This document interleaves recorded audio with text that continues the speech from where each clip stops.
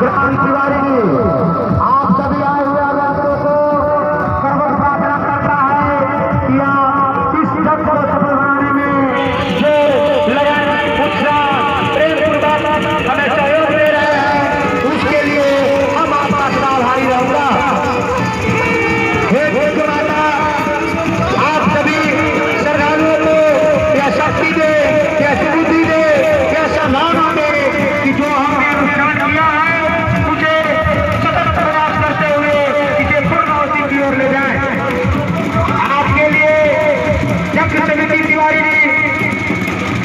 doctor चमिटी तिवारी ने